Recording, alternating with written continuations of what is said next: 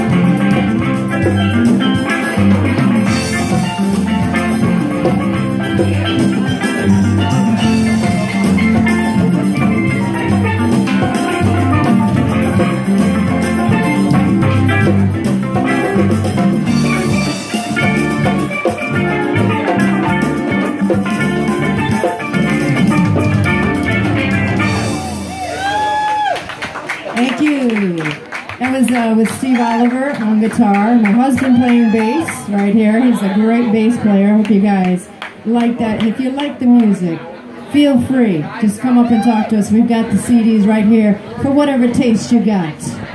Yeah.